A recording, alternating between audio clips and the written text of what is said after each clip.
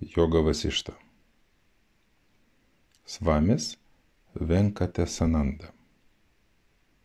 Baltijos gyvenimo meno labdaros ir paramos fondas Vilnius 2012. Joga Vasišta iškilus Indijos dvasinis filosofinis tekstas, kuriame išminčius Vasišta jaunajam princui Ramai perteikia mokymą apie nedualę beribės sąmonės prigimtį. Amžinai išminčiai iliustruoti pasitelkiama daugybė pasakų, istorijų ir parabolių. Princas Ramas, išklausęs šį stabų mokymą, susilieja su absoliutu Brahmanu ir patiria išsilaisvinimą. Būtent šiam tikslui ir skirta joga vasišta. Šiame tekste teigiama, Nėra kito būdo pasiekti aukščiausią nei dabar, nei kada nors, kaip tik studijuojant šį šventraštį. Vertė Liudas Gustainis ir Vincas Gustainis. Redagavo Auksė Brasaitė. Maketavo Vėtrė Antanavičiūtė Meškauskinė. Vertėjų lietuvių kalba žodis. Sunku vertėjų pasiryšti versti jogą vasištą. Visų pirma, todėl, kad šis šventraštis teigia, jog jį studijuojantis žmogus gali išsilaisvinti. Antra. Joga vasišta yra vienas pagrindinių Indijos filosofijos veikalų. Jo autorius visiškai kitaip nei vakariečiai vertina ir mato save bei pasaulį. Šiame unikaliame kūrinyje dėstomas mokymas savo dvasia artimas Advaitai Vedantai. Šią jogą Vasištą iš sanskrito į anglų kalbą išvertė Svamis Venkatesananda. Visame pasaulyje garsaus Svamio Šivanandos mokinys. Čia pateikiamas joga, jogos Vasištos leidimas, vertimas iš rusų kalbos. Mūsų tekste vartojami kai kurie terminai yra dažnai kartojami ir kitais nekeičiami. Tačiau visiškai tikslaus terminų vertimo skaitytojas neras ne visos savokos turi atitikmenis lietuvių kalboje. Reikia pastebėti, jog paties kūrinio prasme yra tokia gili, kad panirė į tekstą dalykus, apie kuriuos kalbama, suvokiama anapus visų žodžių ir terminų. Žinoma, versdami dažniausiai vartojamus terminus, siekiame įvesti tam tikrą tvarką laikyti sistemos. Terminų vertimą derinome su angliškais knygos leidimais. Pagrindinis šio veikalo objektas - veikėjas. Ir dažniausiai besikartojantis terminas yra beribė sąmonė. Angliškai infinity consciousness arba tikrasis aš, angliškai the self. Pastarajam objektui, beje objektu jį galima vadinti tik sąlygiškai. Įvardyti Taip pat pasitelkėme savokas - tikroji prigimtis, aukščiausioji sąmonė ir esmė. Kitas dažnai vartojamas terminas yra savęs suvokimas, angliškai self-knowledge. Į kartais vertėme savivoką, savęs pažinimu, arba vartojame konstrukciją su veiksmažodžiais suvokti save, pažinti save. Terminą proto saligotumas angliškai mental conditioning, dažniausiai vertėme iš anglų kalbos beveik tiesiogiai. Nenorėjome suteikti jokių papildomų atspalvių. Kartais ir angliškame, ir lietuviškame tekstuose sinonimiškai vartojamas proto apribojimas. Jeigu skaitytojui pastarojo termino prasme vis dėlto išliks nelabai aiški, galima pasitelkti kitą anglų kalbos žodžio conditioning vertimo variantą - įtaka. Tokiu atveju mental, mental conditioning būtų galima versti kaip apribojanti proto įtaką. Pažymėtina ir tai, jog proto sąlygotumo terminas šioje knygoje vartojamas kaip taip dažnai ir plačiai, kad suvokti jo reikšmę ir prasme skaitytojai turėtų padėti kontekstas. Taip pat atkreipiame dėmesį tai, kad rusiškajame vertime praleisti tam tikrų praktikų aprašymai ir kiti sudėtinga sanskrito terminologija prašyti procesai. Galime tik spėlioti, kodėl taip atsitiko. Tačiau nėra abejonių. Tie, kurie mano esą tikrai ieškotojai ir tie, kurie tyrinėdami šį nuostabų mokymą pajaus norą išbandyti šioje knygoje prašytas praktikas, jas nesunkiai susiras įvairiuose leidimuose anglų kalba. Kad ir kurį jogos vasištos variantą studijuotumėte, tai nebejotinai bus kelionė išsilaisvinimo link. Palaiminimas. Joga vasišta - unikalus Indijos filosofijos kūrinys, kuris yra labai gerbiamas už jo praktinį misticizmą Šio įstabaus šaltinio studijavimas be abejonės padės suvokti dieviškumą. Aukščiausiojo ieškotojams joga vasišta yra tarsi nektaras. Tai išminties saugykla. Kelias nurodytas šioje knygoje skirtas dvasiškai pažengusiam ieškotojui, kuris jau beveik pasiekė sitchos būseną. Joga Vasišta iliustruoja amžinąją išmintį daugybę istorijų ir paaiškinimų. Ne tik filosofai, bet ir šiuolaikiniai psichologai bei mokslininkai tikrai atras knygoje ką nors tokio, kas būtų susiję su jų pačių atradimais. Dauguma šventrašių tekstų pasiekėjams buvo perduoti paties Dievo. Tačiau joga vasišta buvo papasakota pačiam viešpačiui Dievui tai išminčiaus vasištos mokymas, skirtas Dievui Ramai. Mokymas atskleidžia tikrą tiesą apie tai, kaip sutveriami pasauliai.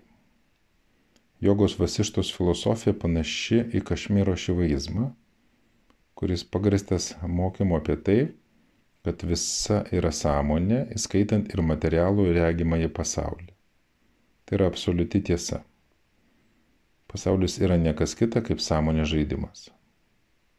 Versdamas šį monumentalų darbą, Svamės Venka Tesananda, kaip įmanydamas tengiasi, kad ši filosofija būtų suprantama paprastam žmogui.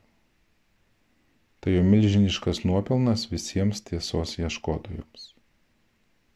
Svamidžius tyriausias žinių žmogus, todėl jis yra subrendęs šiam vertimo darbui apie aukštąją jogą.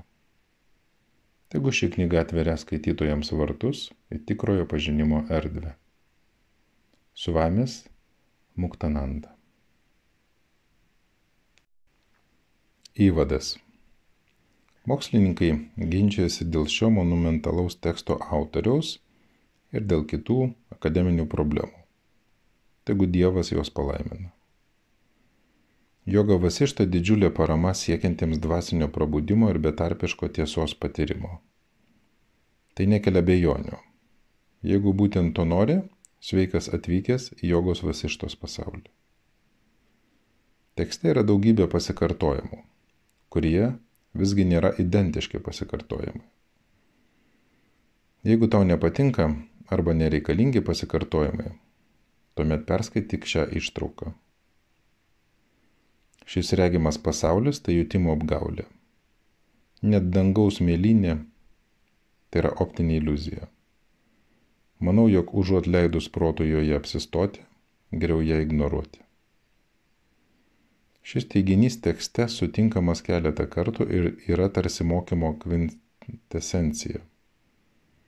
Jeigu tai dabar ne visiškai aišku, skaityk knygą. Daugkartinės šios tiesos iliustracijos padės išplėsti tavo proto ribas. Išmintinga būtų skaityti tik po puslapį per dieną. Šis mokymas revoliucinis. Linkęs į nusistatymą protas taip paprastai jo nepriims.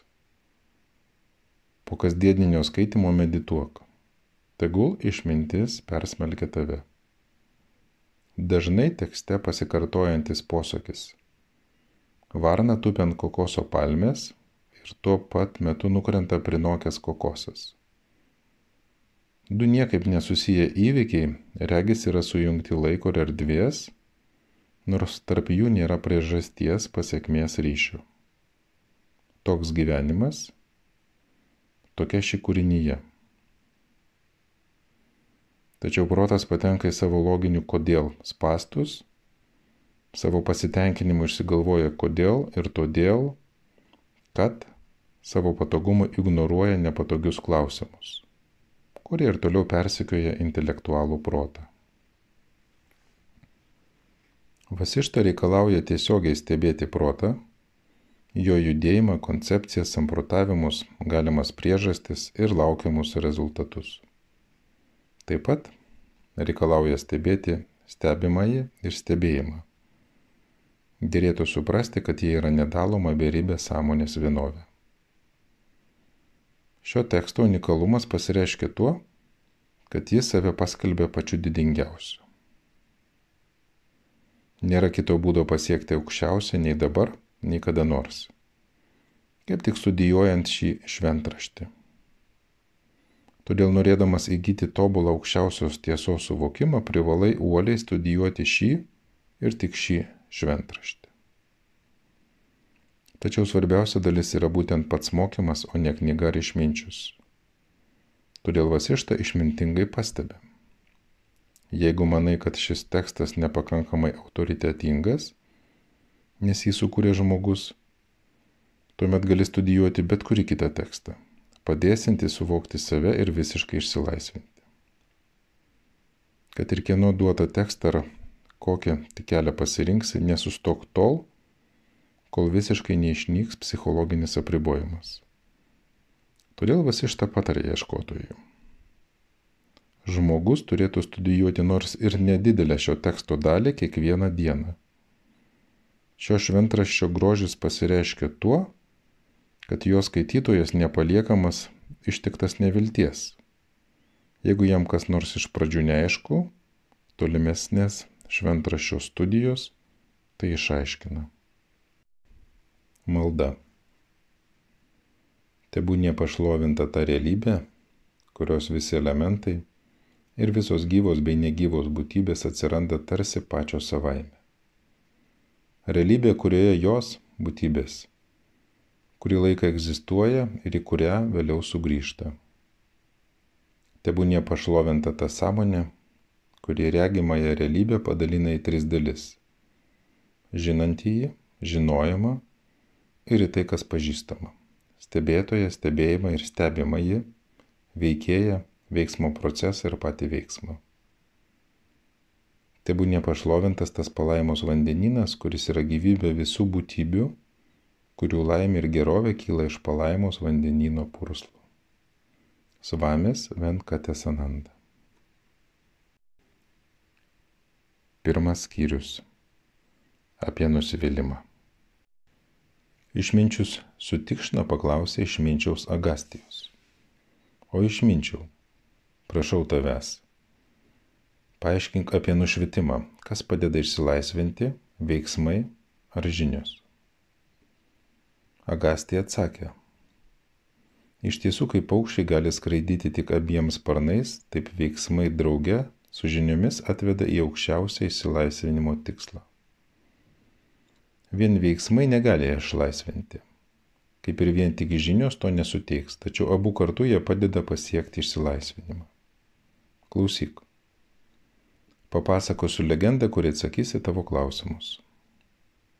Kartą gyveno šventas žmogus vardu Karunija, Agnivešio sūnus. Išstudijavęs šventrašius ir suvokęs jų prasme, jaunuolis tapo abejingas gyvenimui. Tai reikėdamas tėvas pareikalavo sūnų pasiaiškinti, kodėl šis neatlieka savo kasdieninių pareigų. Į tai Karūnė atsakė. Argi šventraščiuose neparašyta, kad viena vertus privaloma laikytis jų duotų įsakymų iki gyvenimo pabaigos, kita vertus nemirtingumas pasiekiamas tik atsisakius bet kokios veiklos. Pasiklydau tarp šių dviejų doktrinų. Ką man daryti, o mano gūrų ir tėvė. Tai ištaręs jaunuolis nutilo. Agnivešė pasakė, klausyk mano sunau, papasakosiu tau senovinę legendą. Atidžiai apgalvok jos esmę ir elgis kaip nori. Kartą debesų nimfa surūčia sėdėjo ant Himalajų viršūnės ir išvydo praskredantį dievų karaliaus Indros pasiuntinį. Paklaustas, kur skrendas, šis papasakojo jai apie savo užduotį.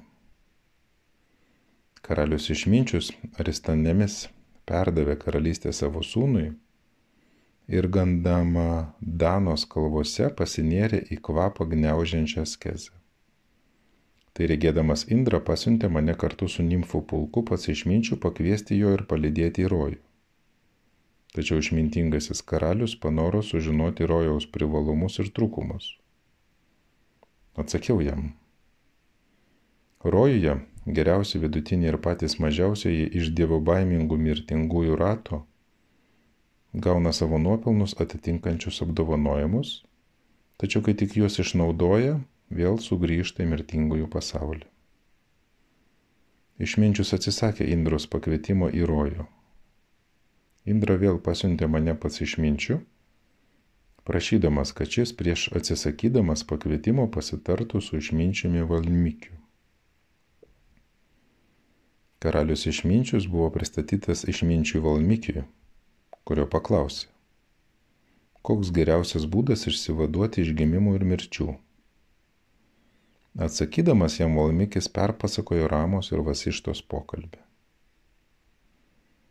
Valmikis pasakė, šį tekstą, Ramos ir Vasištos dialogą, gali studijuoti tas, kuris jaučiasi esas prisirišęs prie šio pasaulio ir trokšta išsilaisvinti. Tas, kuris nėra visiškai neišmanelis, bet ir nėra nušvitęs. Tas, kuris masto apie išsilaisvinimo būdus, pasiūlytumus pasiūlytus šiame tekste pateikiamų istorijų formą. Tikrai pasieks įsilaisvinimą iš pasikartojančios istorijos, gimimų ir mirčių. Išdėšiau Ramos istoriją anksčiau ir perdaviau ją savo mylimam mokiniui Baharadvajai. Kartą viešėdamas ant merų kalno jis perpasakojo ją kuriejui Brahmai. Didžiai patenkintas Brahma suteikė malonę išpildyti Bharadvajos troškimą. Šis paprašė, kad nelaimės aplenktų visas žmogiškas būtybės. Ir maldavo Brahmos nurodyti geriausią būdą, kaip tai pasiekti. Brahma tarė Bharadvajai. Eik pas išminčių Valmikį ir melskai pratesti kilnų į pas... pasakojimą apie Ramą idant klausytojas išsilaisvintų iš neišmanimo tamsos. Be to, Brahma palidėjo Abharadvają ir pats atvyko į mano buveinę. Po mano pasisveikinimo Brahma pasakė, o išminčiau, tavo istorija apie Ramą tai valtis, kurią žmonės galės perplaukti samsaros, besikartojančio gimimo ir mirties rato vandenyną. Todėl tesk pasakojimą ir sėkmingai jį užbaig. Tai pasakęs, sutvėrėjas dingo. Sutrikęs dėl nelaukto Brahmos įsakymo, paprašiau išminčiaus Bharadvajos išsiaiš... išaiškinti man sutvėrėjo mintį. Jis pakartojo Brahmo žodžius. Brahma nori, kad atskleistum Ramos istoriją taip, kad jai padedant visi galėtų atsikratyti kančių. O išminčiau, aš taip pat tavęs maldauju papasakok man nuodugniai, kaip Rama, Lakšman ir kiti broliai išsilaisvino iš kančių.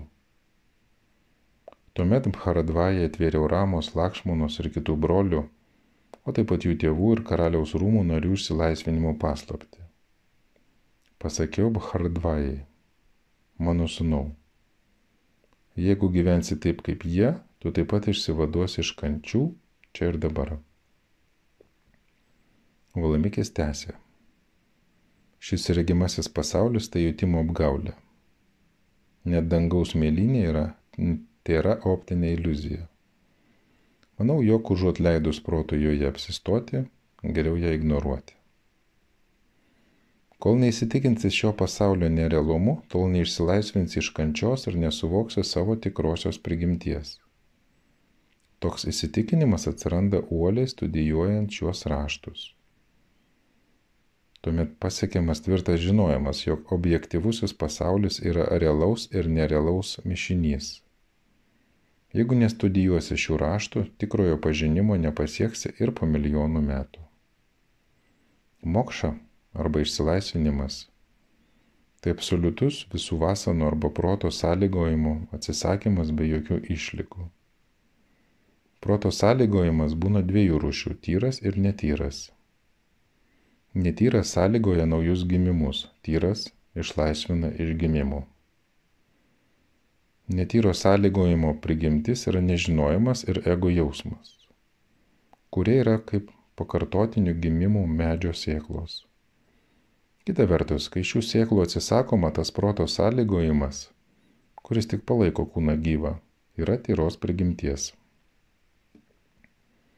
Toks proto sąlygojimas reiškiasi net išsilaisvinusių gyvenime. Jis nesukelia pakartotinių gimimų, nes šie palaikomi tik praeities impulsais, o ne dabartinės motivacijos. Papasakosiu tau, kaip nušvitęs Rama gyveno išsilaisvinusio išminčiaus gyvenimą. Tai žinodamas ištruksi iš bet kokių senatvės ir mirties neišmanimo gniauštų. Grįžęs iš savo mokytojo buveinės Rama įsikūrė tėvo rūmose ir pramogavo sportuodamas įvairiais būdais Norėdamas pakeliauti po savo šalį ir aplankyti šventas vietas, Rama paprašė tėvo audiencijos ir leidimo kelioniai. Karalius kelionės pradžiai išrinko palankę dieną. Ta diena gavęs šeimos vyresniųjų palaiminimus, Rama išvyko.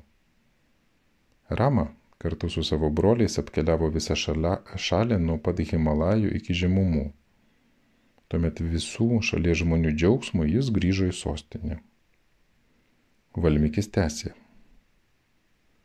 Įžengęs į rūmus, Rama žemai nusilenkė savo tėvo išminčių vasištai ir kitiems senoliams bei šventiesiems. Visa sostinė Ajodija net aštuonias dienas šventė savo princo sugrįžimą. Kurį laiką Rama gyveno rūmose, deramai atlikdama savo kasdieninės pareigas. Tačiau labai greitai stipriai pasikeitė, sulyso, išbalo ir nusilpo. Karalius Dasarata susirūpino ūmiais ir nesuprantamais savo mylimiausio sūnaus nuotaikos ir išvaizdos pasikeitimais. Į visų klausimus apie sveikatą Ram atsakydavo, kad jam viskas gerai. Kai Dasarata teiraudavosi, mylimas sūnau, kas tau kelia nerimą? Rama mandagiai atsakydavo, niekas tėve. Ir toliau tylėdavo. Kaip ir reikėjo tikėtis, Dasarata kreipėsi į išminčių vasištą. Atsakydamas išminčius mislingai pratarė. Nebejotinai yra tam tikra priežastis, dėl kurios Ramų būtent taip elgesi. Kaip šiame pasaulyje visi didieji pokyčiai vyksta dėl priežasties, tai yra dėl kosminių elementų įtakos, taip ir kilniųjų pyktis, nusimenimas bei džiaugsmas turi atitinkamą priežastį. Ir Desarata nutarė daugiau neklausinėti. Netrukus į rūmus atvyko garsus išminčius iš Vamitra. Kai, prie, kai apie šventojo apsilankymą buvo pranešta karaliui, jis atskubėjo pasveikinti svečią. Dasarata pasakė, sveikas atvykęs, o šventasis išminčiau. Tavo atvykimas į kuklų mano būstą džiugina mane. Aš laimingas, kaip gali būti laimingas neregys atgavęs regėjimą, kaip laiminga išdžiūvusi žemė lietui palyjus, kaip džiaugiasi sunumi bevaisė moteris. Aš laimingas lik džiugaučiau dėl mirusiojo prisikelimo ir prarasto turto sugražinimo. O išmintingas jisai, ką galėčiau dėl tavęs padaryti. Maldauju suprask, bet koks tavo noras, dėl kurio pas mane atvykai, jau yra išpildytas. Tu esi dievybė, kurią aš garbinu, todėl įvykdysiu kiekvieną tavo prašymą, įsakymą. Valmikis tęsė. Višvamitra pasidžiaugė Dasaratos žodžiais ir atskleidė jam savo misijos tikslą. Jis tarė karaliui. O, karaliau, man reikalinga tavo pagalba atliekant religinį ritualą, kurio ėmiausi. Kai tik pradedu savo religinį ritualą, Haros ir Dusanos demonai pasiekėjai įsiveržia į šventą vietą ir ją išniekina.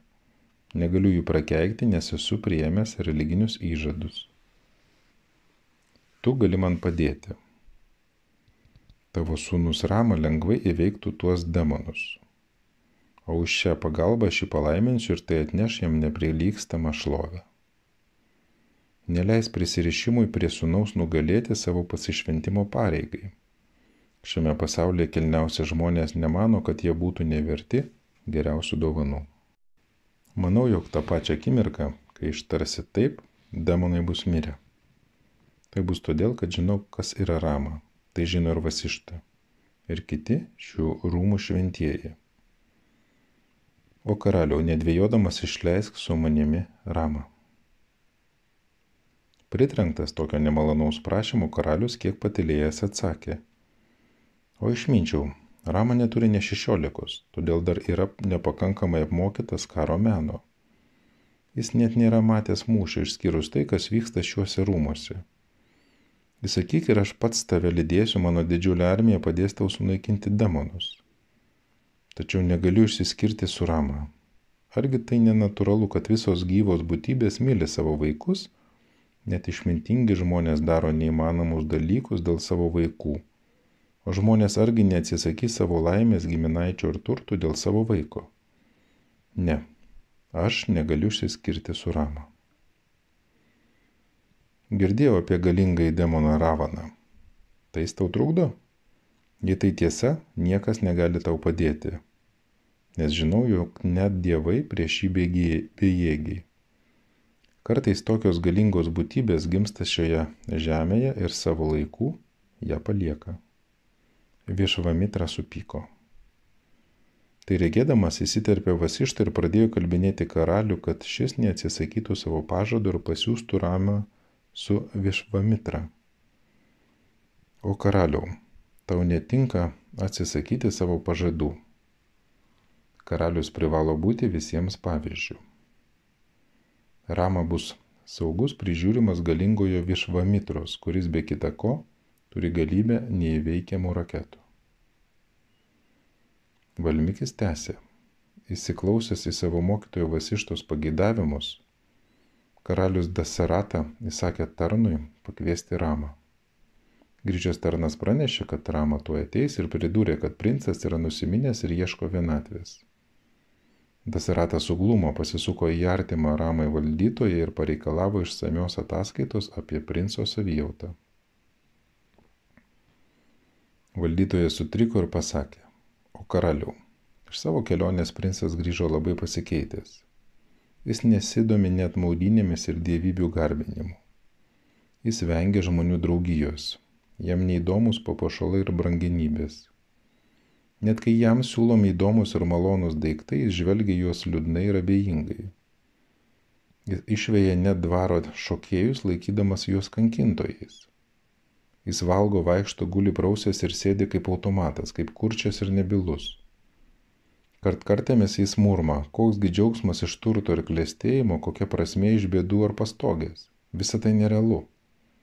Didžią laiko dalį jis tyli ir nieko neveikia. Jam patinka tik vienatvė. Visą laiką jis pasinėręs į savo mintis. Mes nežinome kas nutiko mūsų princui apie ką jis galvoja ir ko jis nori su kiekviena diena jis nyksta jis vis kartoja savo deja užuot siekę aukščiausiojo mes vėjai pa, paleidžiame savo gyvenimą. Žmonės įmanuoja dėl savo kančių ir skursta, tačiau niekas nuoširdžiai nenusisuka nuo savo kančių ir skurdo priežasčių. Matydami ir girdėdami visą tai mes jau, kuklus tarnai, esame labai nusiminę. Mes nežinome, ką daryti. Jis prarado viltį, norus, jis prie nieko neprisiriša ir nuo nieko nepriklauso. Jis neprarado proto, bet nėra ir nušvitęs. Kartais atrodo, kad jis iš nevilties masto apie savižudybę. Kokia prasmė turėti turtus, giminės karalystę ir ambicijas šiame pasaulyje? Tik tu gali žinoti, kaip paveikti tokią princų nuotaiką. Višava Mitra pasakė, tuomet tegu Rama ateina čia. Jo būsena ne iliuzijos rezultatas, ji kupina išminties ir beistriškumo. Ji rodo jo nušvitimą. Atveskite jį čia, mes išsklaidysime jo nusiminimą. Valmikis pasakė, karalius įsakė valdytojui pakviesti Ramą. Tuo, tuo metu pats Rama jau buvo pasiruošęs susitikimui su tėvu. Jis iš toli pastebėjo ir pasveikino tėvą bei susirinkusius išminčius, kurie pamatė, kad nepaisant jaunystės, jo veidas švyti brandžią ramybę. Jis iki žemės nusilenkė karaliui, šis jį apkabino, pakėlė ir paklausė. Dėl ko liūdi mano sunau? Nusiminimas - atviras kvietimas įvairioms kančioms. Išminčiai Vasištai ir vas, višma, Višvamitra susitiko su karaliumi. Rama pasakė, nuoširdžiai atsakysiu tavo klausimus. Laimingas augau savo tėvo namuose, turėjau puikius mokytojus. Neseniai grįžau iš kelionės, kurios metu mane apėmė mintį sugriovusios visas viltis šiame pasaulyje. Mano širdis pradėjo klausinėti, ką žmonės vadina laimė ir ar galima ją rasti tarp nepastovių šio pasaulio objektų. Visi šio pasaulio sutverimai gimsta tik tam, kad mirtų ir miršta, kad gimtų. Nematau jokios prasmės šiuose laikinuose įvykiuose, kurie sukelia kančias ir nuodėmės. Niekuo tarpusavyje nesusijusios būtybės susitinka ir protas vaizduotoje, vaizduotėje sukuria tarp jų santykius. Viskas šiame pasaulyje priklauso nuo proto, nuo požiūrio kampo. Įsigilinusi taip, pasirodo, kad pats protas yra nerealus. Tačiau mes ir toliau juo apsigaudinėjame. Man atrodo, kad žmonės tengiasi numalšinti savo troškolį, vaikydamėsi miražų dykumoje. Be abejo, mes nesame vergai parduoti šeimininkui, tačiau gyvename vergišką gyvenimą be jokios laisvės. Nežinodami tiesos, beprasmiškai klaidžiojame tankiame miške, kuris vadinamas pasauliu. Kas yra tas pasaulis? Kas gimsta, auga ir miršta? Kaip įveikti kančias? Mano širdis kraujuoja iš liūdėsio, nors ir nelieju ašarų, įdant nenuliūdinčiau savo draugų. Rama tęsė. O išminčiau. Taip pat beprasme yra ir turtai, kurie apgauna neišmanėlį. Nepastovus ir laikini turtai sukelia be, begalę rūpešių ir nenugalimą dar didesnių turtų troškimą. Turtai žmogaus nesirenka gausa pasiekiama ir nuodėminga jam ir teisuoliui. Tačiau žmonės būna geri atjaučiantis ir draugiški tik tol, kol jų širdis, aistringai siekdamos turtų, nesurambėja. Perteklius gadina net išmintingų mokslininkų, didvyrių, kilnių ir sumanių o taip pat švelnios prigimties žmonių širdis. Turtas ir laimė negyvena kartu. Turčius retai neturi priešų ir varžovų, norinčių jį apjuodinti. Turtas panašus į piktų sumanimų gyvatę, jis prie kančių prideda baimę. Prieš turtą tampa bejėgis net geros prigimties žmogus. Iš tiesų turtą ieško to, kurį jau pasirinko mirtis. Tai pasakytina ir apie gyvenimo trukmę, o išminčiau. Į panašį vandens lašą ant žalio lapo. Ilgas gyvenimas yra vaisingas tik tam, kuris pažįsta save. Mes galime sugauti vėją, priepti erdvę, galime surišti bangas į vainiką, bet mes negalime pasitikėti savo gyvenimu. Žmogus nori gyventi kuo ilgiau, taip susikurdamas dar daugiau kančių ir pailgindamas savo nelaimę trukmę. Tik tas gyvena iš tikrųjų, kuris siekia suvokti savo tikrąją prigimtį. Šiame pasaulyje tai vienintelis vertingas tikslas, kuris nutraukia būsimų gimimų ratą. Visi kiti egzistuoja kaip pasilai. Kvailiui šventų tekstų pažinimas sunkus krūvis. Tam, kuris pilnas troškimo, net išmintis nepakeliama našta. Nerimastingajam jo paties protas našta o tam, kuris savęs nepažįsta, pats kūnas ir gyvenimo trukmė sunkus nešulys. Laiko žiūrkė be atokvėpio graužia gyvenimą. Lygų termitai naikina kūną ir dvasę. Kaip šuoliui pasirengusi katė stebi pelę, taip mirtis nuolatos tyko gyvenimo. Rama tęsė. O šventasis ponė, kai mastau apie tai, kaip į gyvą būtybę prasiskverbė mirtinas išminties priešas egoizmas, jaučiuosi suglumęs ir išsigandęs.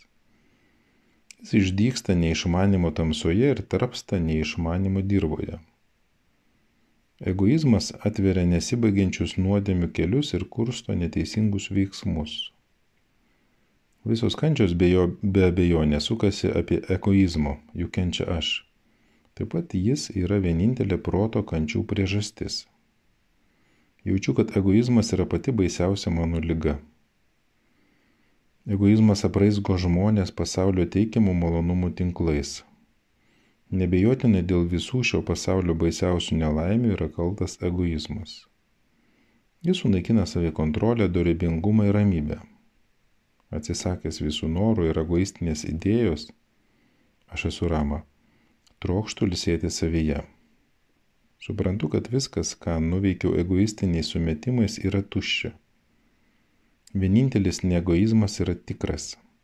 Kai jaučiu egoizmo įtaką, esu nelaimingas. Kai nuo jo išsilaisvinu, esu laimingas. Egoizmas žadina troškimus, o kai jo nebelieka, jie dinksta. Tik egoizmas siekdamas pagauti klastos neįtarančią sielą be prasmės ir priežasties – nurezga šeimininių ir visuomeninių santykių tinklus. Aš manau, kad nesu egoistas, tačiau vis tiek esu nelaimingas. Maldauju tavęs. Apšviesk mane. Netekęs malonės, gytos tarnaujant šventiesiems, nešvarus protas tampa nesuvaldomas kaip vėjas. Jis nepasitenkina tuo, kad turi ir kiekvieną dieną tampa vis neramesnis. Kaip riečio neužpildysi vandeniu, taip nenuraminsi ir proto, įgydamas vis naujus pasaulio objektus. Protas nuolatos šokinėja nuo vieno prie kito ir niekur neranda laimės. Nekreipdamas dėmesio tai, kad gali nusipelnyti didžiulės kančios pragare, protas ieško malonumų čia, kur jų irgi neranda. Jis kaip liūtas narve, visada neramus, praradęs laisvę ir nelaimingas. Deja, o šventasai, ir aš esu troškimų saitais pririštas prie tinklo, kurį užmetė protas. Kaip išsiliejusi srauni upė rauna medžius su šaknimis nuo savo krantų, taip neramus protas sukrėtė visą mano esybę. Proto vėjas neša mane kaip sausą lapą ir niekur nerandu ramybės. Visi pasaulio objektai atsiranda iš proto, visi trys pasaulio egzistuoja tik jo dėka.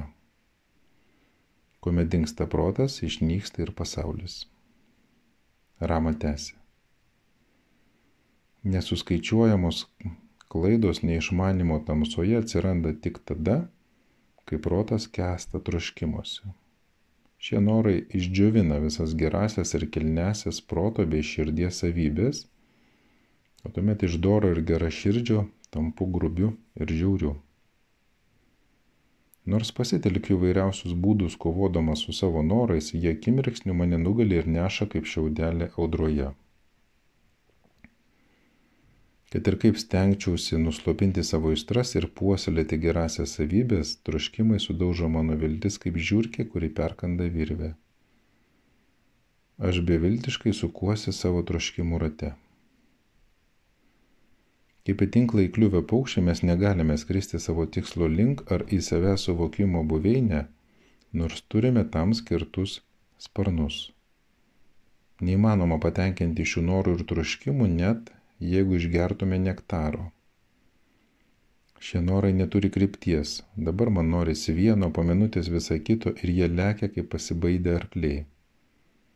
Norai nusidrėkė prieš mus kaip milžiniškas žmogiškųjų santykių tinklas - sunaus, draugo, žmonos ir kitų. Nors esu su didvyris, troškimas paverčia mane išsigandusiu bailiu. Nors turiu matančias akis, jis mane apakina. Nors esu kupinas džiaugsmo, jis paverčia mane nelaimingu. Jis yra kaip siaubinga pabaisa. Ta pabaisa prišaukia nelaimę, ji pririša žmogų, sudaužo jo širdį ir nuveda į klyskeliais. Šios pabaisos užvaldytas žmogus negali džiaugtis net tais malonumais, kurie jam prieinami. Net jei atrodo, kad trokštame laimės, negauname nei laimės, nei aprūpinto gyvenimo. O atvirkščiai, Veltui eikvojame didžiulės pastangas, kurios baigėsi nesėkme. Ši pabaisa, kaip pagyvenusi artistė, kuri nebepaėgė suvaidinti nieko gero ir kilnaus, žlugdo kiekvieną veiksmą, tačiau tęsia savo pasirodymą scenoje. Troškimas pakyla iki debesų ir jau kitą sekundę krenta į pragaro gelmes. Jis niekada nenurimsta dėl proto tuštumo. Kartkartėmis protė bliksteli išminties kibirkštis, tačiau neišmanimas iš karto ją užgesina. Nustabu, kaip išminčiai geba jį nukirsti žinių kardu. Rama tęsė. Šis apgailėtinas kūnas, sudarytas iš venų, arterijų ir nervų, taip pat yra ir skausmo šaltinis. Būdamas inertiškas, jis atrodo protingai, todėl nesuprantama. Ar jis ką nors jaučia ar nejaučia ir sukelia tik iliuzijas. Jis žavisi menkniekiais ir kenčia dėl mažiausios bėdos. Šis kūnas tikrai niekingas. Galiu palyginti kūną tik su medžiu. Šakos tai rankos, kamienas juosmuo. Drėvės kaip akis, galva tai vaisiai, lapai kaip daugybė lygų. Štai tokia gyvų būtybių buveinė. Kas gali pasakyti, kad tai jo nuosavybė? Beprasmiška kūno atžvilgiu puoselėti viltis arba grimsti nusiminimą. Tai tik valtis duota žmogui perplaukti iš įgimimų ir mirčių vandenyną, tačiau negali į kūną žiūrėti kaip į tikrąjį aš. Šis medis kūnas išaugo samsara, samsaros pasikartojančios egzistencijos miške. Medyje staiposi nerami bežionė, protas Jis suteikia prieglobstį svirpliams, rūpešiams. Jį nuolatos graužia vabžiai, nesibaigiančios kančios. Jame slepiasi nuodinga troškimų gyvatė. Laukinis pykčio varnas gyvena jo viršūnėje. Ant medžio skleidžiasi juoko žiedai, jo vaisiai yra geri ir blogi. Gyvybinės jėgos vėjas judina jį, todėl jis atrodo gyvas ir maitina paukščius jausmus. Kadangi medis suteikia malonumo šešėlį, jį dažnai aplanko keleiviai - geismas arba troškimai. Jame sėdi didžiulis egoizmo vanagas, o viduje jis yra tuščias ir drevėtas. Jokių būdų jis nėra skirtas laimiai puoselėti. Ilgai ar trumpai jis auga, iš jo vis tiek jokios naudos. Jis sudaro mėsa ir kraujas, jis pasmerktas senatvė ir mirčiai. Nemyliu jo. Jį kamuoja neišmanimas, jis visas pripildytas nešvarių medžiagų. Kaip jis gali pateisinti mano viltis? Kūnas yra lygų buveinė, protinių sutrikimų, kintančių jausmų ir įvairių nuotaikų laukas. Aš juo nesižaviu. Kas yra turtai, kas yra karalystė, kas yra kūnas. Laikas mirtis visą tai negaliai stingai sunaikina. Mirties momentą nedėkingas kūnas palieka sielą, kuri jame gyveno ir gynė jį. Ar galima juo nors truputį pasikliauti? Jis nuolatos begėdiškai mėgaujasi vis tais pačiais malonumais. Atrodo, kad vienintelis akivaizdus jo tikslas galų gale yra sudegti. Jis ieško turtų ir valdžios, negalvodamas apie senatvę ir mirtį, kurios neaplenkė nei turtuolio, nei vargšo. Gėda tiems, kurie apsvaigę nuo neišmanimo vyno prisiriša prie šio kūno. Gėda tiems, kurie prisiriša prie šio pasaulio.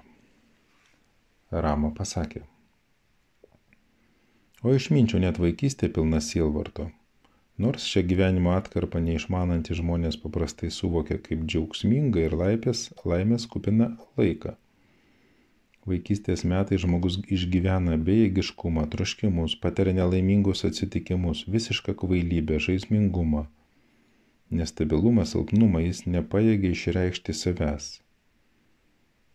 Vaiką lengvai žaisti, supykinti ir pravirkdinti. Galima teikti, kad vaiko kančios yra daug baisesnės. Vaiko kančios yra daug baisesnės negu mirštančiojo senio lygoto arba bet kurio kito suaugusiojo. Vaikystę galima palyginti su gyvūno visiškai priklausomo nuo kitų malonės būsena. Visa, kas vyksta aplinkui, vaikina vaikas stebina, trikdo, sužadina įvairias fantazijas ir baimės. Vaiką lengva paveikti, jis dažnai pasiduoda blogai įtakai, todėl tėvai kontroliuoja ir baudžia. Vaikystė tai tik pavergimo laikotarpis ir nieko daugiau. Nors vaikas atrodo nekaltas, iš tiesų pačios įvairiausios įdos. Nudimingi polinkiai ir neurotiniai išsišokimai jame tiesiog dar miega lygiai taip pat, kaip pelėda tupi pasislėpusi tamsioje drevėje šviesių paros metu.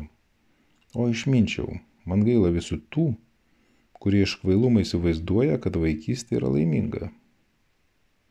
Kas gali sukelti didesnės kančias už neramų protą? O vaiko protas ypač neramus. Jeigu vaikas kasdien negauna ką nors naujo, jis yra nelaimingas. Verksmas ir ašaros regis svarbiausias jo užsiemimas. Kai vaikas negauna ko panorėjęs, atrodo, kad jo širdis plyšta iš skausmo. Kai vaikas pradeda lankyti mokyklą, jį baudžia mokytojai, tai dar labiau padidina jo kančias. Kai vaikas verkia, tėvai ir aplinkiniai, norėdami jį nuraminti, žada jam duoti visą pasaulį. Nuo to laiko vaikas pradeda vertinti pasaulį ir trokšti jo objektų. Tėvai sako, dėl tavęs pasieksiu menulį danguje. Ir vaikas tikėdamas jais mano, kad gali laikyti rankose menulį. Taip mažoje širdelėje ima dikti iliuzijų sieklos. Nors vaikas patiria šilumą bei šaltį, jis negali jų išvengti kuo tuomet jis geresnis už medį. Kaip gyvūnas ar paukštis, vaikas veltui stengiasi gauti tai, ko nori ir bijo vyresnių už save namuose. Rama tęsė. Žmogus iš vaikiško amžiaus pereina į jaunystę, tačiau negali palikti praeitįje savo sielvarto, kai paliko ten vaikystę. Paauglio protas patiria begalę pasikeitimų tad jaunuolis tampa vis nelaimingesnis ir nelaimingesnis. Jis atsisako išminties ir apsikabina siaubingą pabaisą, geismą, tūnančią jo širdyje. Jo gyvenimas pilnas troškimų ir nerimo. Tie, kurie jaunystėje išsaugojo išmintį, gali atlaikyti bet kokį puolimą.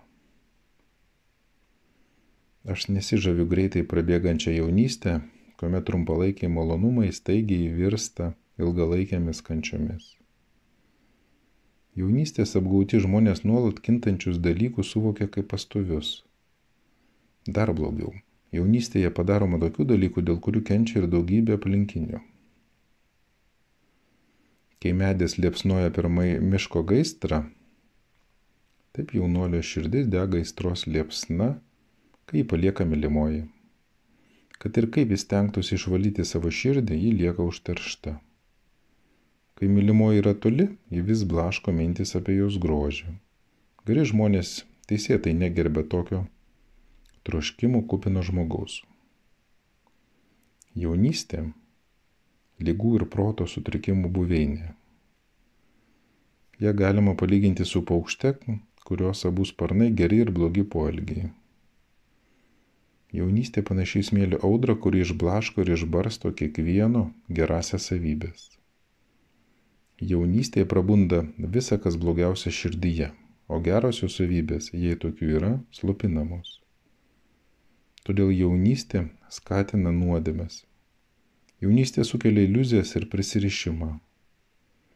Nors jaunystė atrodo patraukli kūnui, ji yra pragaištinga protui.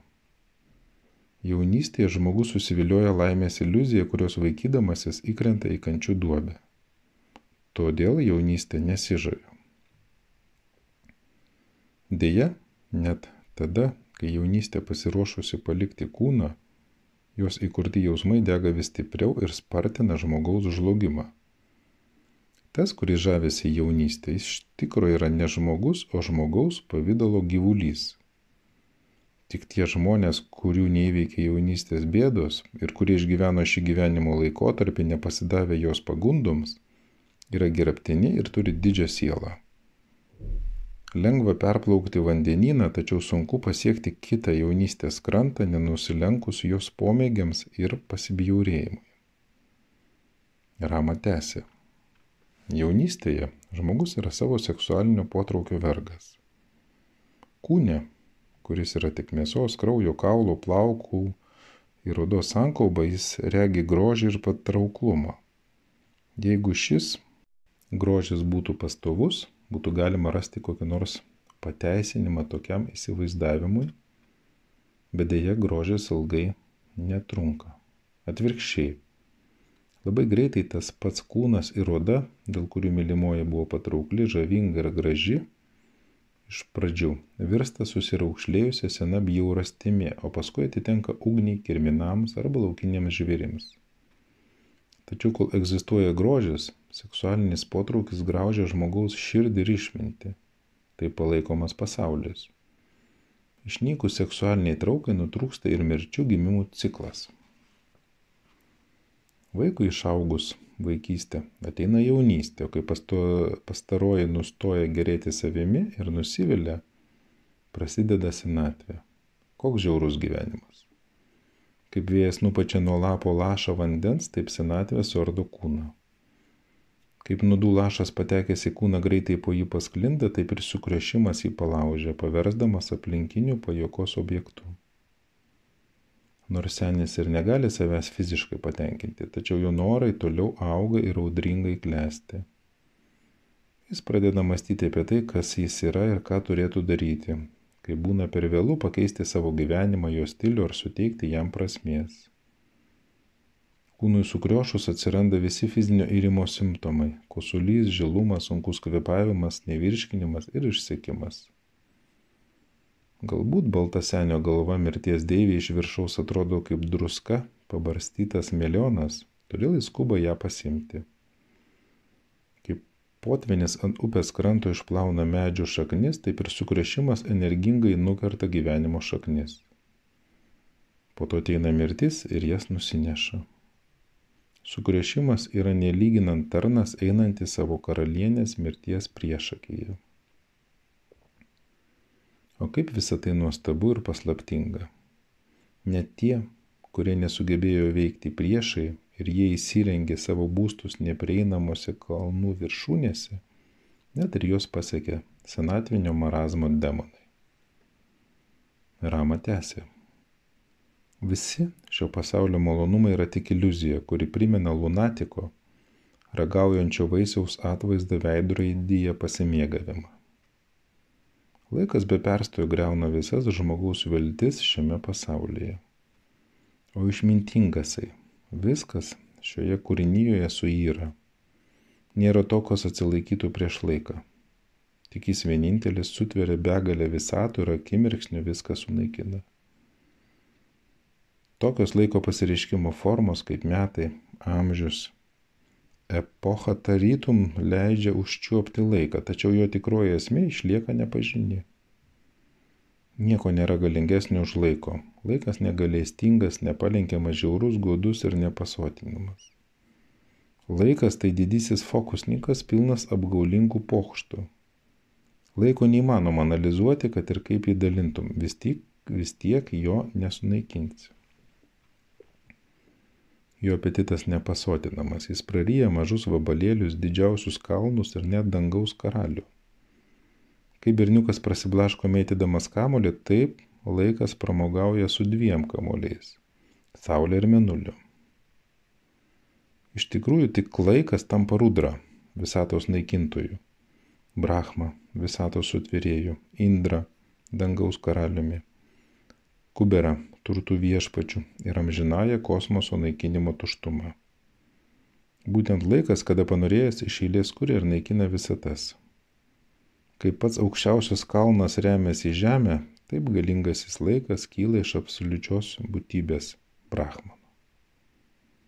Nors laikas ir kuria bekraštės visatas, jis nenuvargsta ir nedžiugauja. Jis neteina, neišeina, jis nekyla ir nesileidžia. Laikas kaip tas gurmanas, kuris vos tik pamato, jog saulės spinduliai subrandino šio pasaulio objektus ir jie jau pilnai prinoko, juos praryja Kiekviena laiko atkarpa išpuošta pačių vairiausių būtybių nuostabiausiomis brangenybėmis, kurias savo malonumui laikas žaismingai akimirksniu sunaikina. Jaunystės lotosų laikas yra naktis. Kuomet žiedas lepiasi po vandeniu, gyvenimo trukmės dramblių laikas yra liūtas. Šiame pasaulyje nėra nieko nei žemo, nei aukšto, kol laikas nesurdytų. Net kai viskas sunaikinama, pats laikas išlieka nesunaikintas. Kaip žmogus po darbo dienos užsimiršta sapne, taip ir laikas sunaikinęs kosmosą užmiega arba ilsisi. Tuo tarpu naujos kūrybos potencija glūdi jame pasislėpusi. Niekas iš tikrųjų nežino, kas yra laikas. Rama tęsė. Be mano minėto laiko, kurį apsakiau, yra dar kitas laikas, kuris atsakingas už gyvybę ir mirtį. Žmonės jį vadina mirties dievybė. Yra dar viena laiko breuna vadinama krtanta. Veiksmo baigtis, jo neišvengiamas rezultatas. Šis laikas panašus į šokėją, kurio žmona yra Nijati, gamtos dėsniai. Jie buvo išdalina visoms būtybėms neišvengiamus jų veiksmų rezultatus. Visą visatos egzistencijos laiką jie nepavargdami atidžiai dirba savo darbą. Kai laikas šioje visatoje šoka kurdamas ir greudamas viską iš eilės, ko mes galime tikėtis? Laikas paveikia net turinčius tvirtą tikėjimą ir sukelia jiems nerimą. Laikas verčia pasaulį nuolatos keistis, todėl pasaulis yra nepastovus.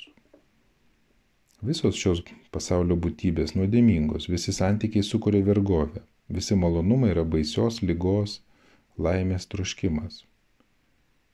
Tik iliuzija. Nusavi jausmai mums priešai. Realybė tapo nepažini, žmogaus protas virto į stipriausių jo priešininkų. Egoizmas yra pagrindinė blogio priežastis, išmintis silpna, visų veiksmų pasiekmes nemalonumai, o malonumų pagrindas - seksualumas. Žmogaus intelektą valdo egoizmas, nors turėtų būti atvirkščiai. Todėl protas nepažįsta ramybės ir laimės, jaunystė nuvysta. Šventuosius sutinkame retai, ši kančia neturi pabaigos. Nesimato ne vieno, kuris suvoktų tiesą. Niekas nesidžiaugia kitų žmonių turtais ir klėstėjimu, o tautos artimajam nerasi žmonių širdise nesužiburiu. Žmonės tampa vis niekingesni su kiekviena diena. Silpnumas nugalėjo jėgą, baimė įveikė drąsą. Blogą draugiją rasi lengvai, rasti gerą beveik neįmanoma. Aš stebiuosi, kur laikas veda žmoniją. O šventasai, ši paslaptinga jėga valdanti pasaulį. Sunaikinanti net galingus demonus vagia viską, kas buvo laikoma amžina. Žudo net nemirtingusius. Ar yra kokia nors viltis paprastiems žmonėms tokiems kaip aš? Atrodo, kad ši paslaptinga esybė gyvena kiekviename, o jos asmeninės pavydalas yra egoizmas, kuris viską naikina. Jam paklūsta visa visata, jo valia ten karaliauja. Rama tęsė. O išminčiau. Taigi nei vaikystėje, nei jaunystėje, nei senatvėje niekas nepatiria laimės džiugesio. Šiame pasaulyje nėra objektų, kurių paskirtis būtų suteikti mums laimę. Protas veltui ieško laimės pasaulio dalykuose. Laimingas tik tas, kuris laisvas nuo egoizmo ir kurio nepalėtė jausminių malonumų troškimas. Tačiau tokių labai maža. Aš nelaikau didvyrių žmogaus galinčio nugalėti armiją. Tikrasis didvyris yra tik tas, kuris yra savo proto ir jausmų šeimininkas. Nemanau, jog tai laimėjimas, jei gaunu, kas greitai bus prarasta. Aš laimėčiau tik įgyjęs tai, ko neprarasi. Tačiau, kad ir kaip stengtumėsi, nieko tokio šiame pasaulyje nerasi. Kita vertus ir pasitaikančios pergalės ir laikinos problemos ateina pas žmogų pačios, specialiai jų neieškant. Stebiuosi, kaip žmogus visą dieną gali bastytis šiandien bei ten, tarytum būtų užimtas, o užsiema tik egoistinė veikla, nenuveikdamas nieko gero. Po to naktį jis sugeba puikiausiai miegoti. Net ir tada, kai daug dirbantis žmogus įveikia visus savo žemiškus priešus, skęsta prabangoje ir turtuose, giriasi tuo, kad yra laimingas, jį nutikoja mirtis. Kaip šioji jį atranda, vienas Dievas tai žino. Iš neišmanimo žmogus prisiriša prie savo žmonos, sunaus, draugų, jis nesupranta, kad šis pasaulis panašus į didžiulę kelių sankryžą, kurioje žmonės tik atsitiktinai kur nors keliaudami susitinka. Ir jo žmona ir draugai taip pat tik laikini atsitiktiniai pakeleiviai. Šis pasaulis panašus į puodžiaus ratą. Atrodo, kad ratas neįdo, iš tikrųjų jis sukasi dideliu greičiu. Taip ir iliuzijų suklaidintam žmogui šis pasaulis atrodo stabilus. Tuo tarpu jis pastoviai kinta. Šis pasaulis panašus į nuodingą augalą, tas, kuris jį palitėja, praranda sąmonį ir atbunka. Visi požiūriai šiame pasaulyje sugadinti, visos šio pasaulio šalis yra blogio teritorijos. Žmonės visame pasaulyje miršta, o visi veiksmai yra apgaulingi. Begalė erų atėjo ir praėjo, jos yra tik laiko tarpai. Nors ir nėra esminio skirtumo tarp epochos ir momento, ir viena ir kita tik laiko išmatavimai. Dievų požiūrį net visą epochą tolygiai akimirkai. Visa žemė tik žemės elemento egzistavimo forma. Kaip beprasmiška ją tikėti ir viltis. Rama tęsė. O šventasai, Visa, kas atrodo pastovu ar kintama šioje žemėje, panašu į sapną. Dabartinio kraterio vietoje anksčiau stūksojo kalnas, o ten, kur šiandien stovi kalnas, greitai žemė atsivers kilė. Neįžengiamo miško vietoje išauks miestas, derlinga žemė taps dikuma. Panašiai kinta žmogaus kūnas, gyvenimo būdas ir likimas. Šis gyvenimo ir mirties ciklas yra tarsi įgudusi šokėja, kurios sijoną sudaro gyvos sielos. Ir jis savo šokio judesiais pakelia sielas į dangų, nutrenkia į pragarus ir gražina atgal į žemę. Visi didingiai žygiai, net didžiosios religinės apėgos, kurias čia žmonės atlieka, patenka į atminties saugyklas. Žmonės gimsta žvėrėmis arba atvirkščiai Dievai praranda savo dieviškumą. Kas čia yra nekintama? Aš matau net sutvirėję Brahmą, globėją Višnų, atpirkėją Rudrą ir kitus nenumaldomai einančių sunikimo link. Šiame pasaulyje jausmų objektai žmogui būna malonus tik tol, kol jis prisimena, jog jie neišvengiamai sunyks. Kaip vaikas žaisdamas su žemėmis lipdo iš jų skirtingus objektus, taip ir visatos tvarkos sergėtojas vis kuria naujus objektus, kurie netrukus sugriauna. Šio pasaulio trūkumų suvokimas sunaikino mano proto nepageidaujamas tendencijas.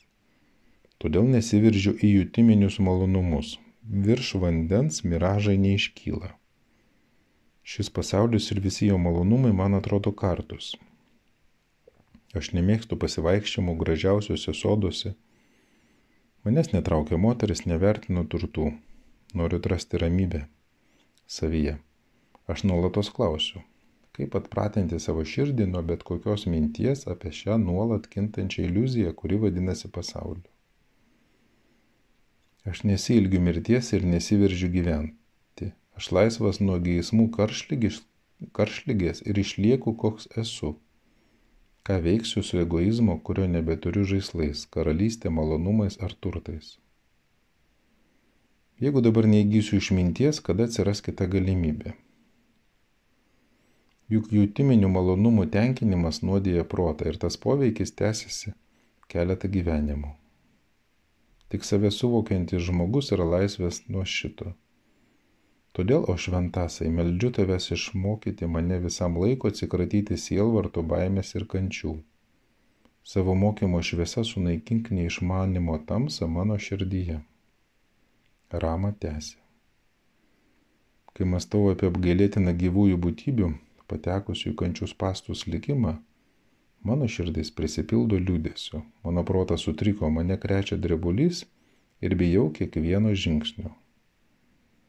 Aš visko atsisakau, tačiau mano išmintis netvirta, todėl esu iš dalies laisvas ir iš dalies supančiotas. Aš panašus į medį, kurį nukirto, tačiau paliko jo šaknis. Aš noriu sutramdyti savo protą, bet tam neužtenka išminties. Todėl maldauju, paaiškink man, kokia tai būsena, kurioje žmogus nepatiria jokių kančių. Kaip šią aukščiausią ramybės ir palaimės būseną gali pasiekti pasaulietiškus reikalus įsitraukęs žmogus toks kaip aš. Koks yra tas požiūris, kuris leidžia išsilaisvinti iš, įvairia, iš įvairių veiksmų ir patirčių įtakos? Meldžiu, pasakyk man, kaip nušvitusiai gyvena šiame pasaulyje. Kaip galima išlaisvinti protą nuo aistrų, kaip priversti jį žvelgti į pasaulį tomis pačiomis akimis, ar žiūrėtum į savo paties atvaizdą ar į žolės tebelį. Kino gyvenimo prašymą reikia studijuoti, kad suprastumėj išminties kelią. Kaip reikėtų gyventi šiame pasaulyje. Išmokyk mane išminties, kuri leistų mano neramiam protui tapti nepajudinamam kaip kalnas. Tu esi nušvitęs, išmokyk mane kaip niekada nebenugrimsti į liūdėsi. Šis pasaulis be abejo pilnas skausmo ir mirties, taigi kaip neapsvaiginus širdies jis gali tapti pasitenkinimo šaltiniu. Protas yra užsitersis, kaip ir kuo jį išvalyti. Kaip gyventi, kad netaptum tos persipinusios porelės meilės ir neapykantos auka. Akivaizdu yra tam tikra paslaptis, leidžianti išlikti šiame pasaulyje be liūdėsių ir kančių. Taip kaip gyvsibdabris nepakintai metus į ugnį. Kokia tai paslaptis? Paslaptis įveikianti protą, kuris yra išsikerojęs šios visatos formą. Kas tie didvyriai, kurie išsilaisvino iš iliuzijų? Kokiais būdais jie tai padarė?